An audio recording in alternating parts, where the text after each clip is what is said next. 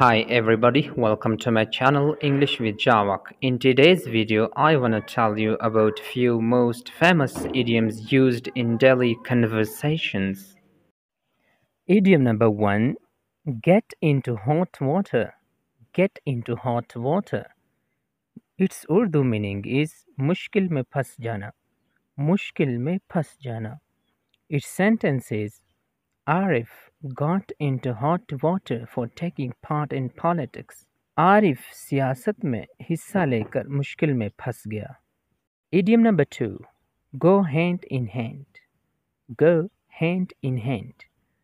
Its Urdu meaning is मुत्तहिद होना मुत्तहिद होना Its sentence is Those two brothers go hand in hand in every difficulty. वो दो भाई हर मुश्किल में मुतहद होते हैं।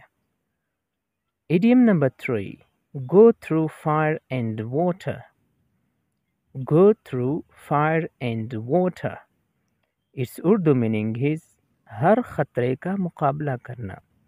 हर खतरे का मुकाबला करना। Its sentences she will go through fire and water to help her friends वो अपनी सहेलियों के मदद की खातिर हर खतरे का मुकाबला करेगी। Idiom number four hold out to the last hold out to the last इस उर्दू मीनिंग इज़ आखिर दम तक लड़ना, आखिर दम तक लड़ना। It sentence is our brave soldiers will hold out to the last हमारे बहादुर सिपाही आखिर दम तक लड़ेंगे। Idiom number five. Lost one's temper. Lost one's temper.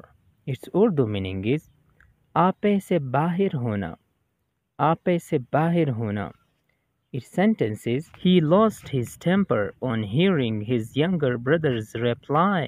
वो अपने छोटे भाई का जवाब सुनकर आपे से बाहर हो गया